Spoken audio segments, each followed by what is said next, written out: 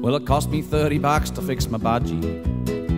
When the little blighter only cost me five. The veterinary surgeon saw me coming, but I had to keep my feathered friend alive. He was shaking on his perch, the kids were crying. The family gathered round his little cage. I said, I think it's time we got a new one. That's when the family went into a rage. Oh, the waiting room ponged like a rat house with heartworms and lungworms and lice. And a Persian had her eye on my shoebox. Oh, I suppose you thought our budgie might be nice. Well, the bird shit on the veterinary surgeon.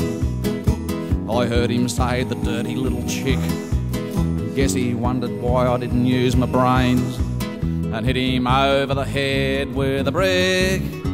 Oh, antibiotics for his colour, two drops a day on his beak, some powder on the nose for his feathers, and clean out his cage twice a week.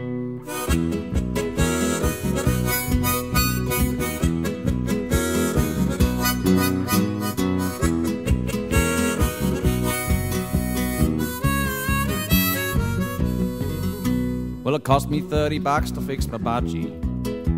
When the little blighter only cost me five. And the bludger wakes me early in the morning. It's got me puzzled how he survives. One night I'll feed him to the tomcat. Instead of worrying about him when we go away. No one wants to feed a shitty budgie when everyone's on holiday. Oh, antibiotics for his colour, two drops a day on his beak, some powder on the nose for his feathers, and clean out his cage twice a week.